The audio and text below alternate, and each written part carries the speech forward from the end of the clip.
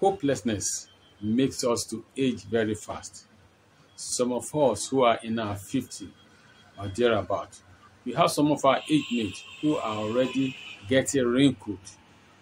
It is not because they lack food to eat or clothing or life essential. The problem is they became hopeless.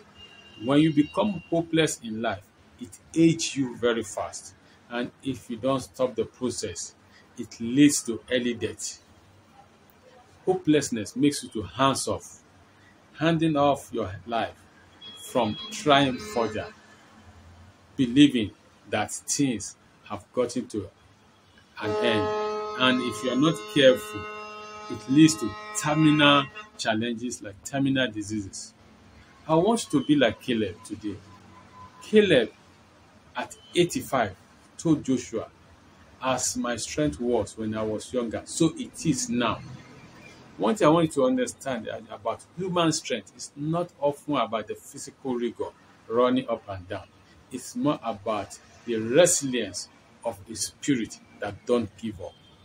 Even at 80, at 90, there are new creation, new thoughts that you need to give back to the world.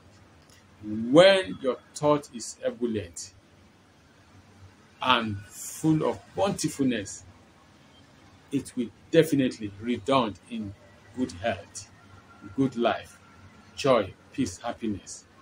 Those who are hopeless have lost the uh, the touch of living. Those who are hopeless have already died. All they are doing is existing. This is why you should not be counted among the hopeless ones in your generation. The truth remains people who have been through much more traumatic situation than you have come out, excelled, and made new meaning in their lives.